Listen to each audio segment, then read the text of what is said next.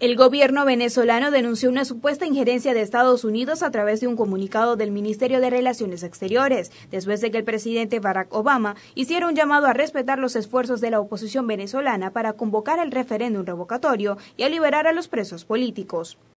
La misiva expresa que es inaceptable la obsesión intervencionista del gobierno estadounidense, que además de considerar a Venezuela una amenaza a la seguridad y a la política exterior de Estados Unidos, pretende instruir a la República Bolivariana de Venezuela sobre elementos esenciales de su vida institucional. Resaltan que es contradictorio e ilógico que se apoye el irrespeto del Estado de Derecho, con el único propósito de satisfacer los intereses antidemocráticos de la oposición venezolana.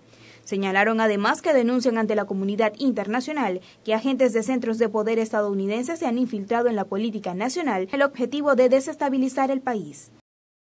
Desde nuestra plataforma multimedia, Marianela Maurera, Notiminuto.